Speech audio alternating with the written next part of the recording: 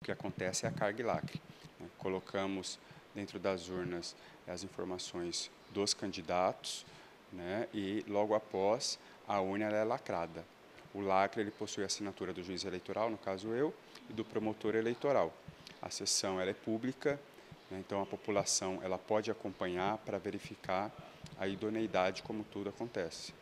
Até que horário será realizado esse procedimento? Hoje estaremos trabalhando nas urnas de Alto Araguaia e amanhã nas urnas de Alto Taquari, Ponte Branca e Araguainha.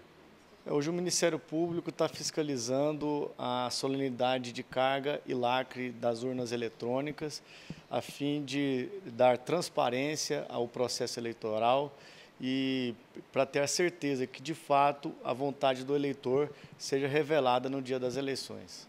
E qual a necessidade de ser aberto ao público?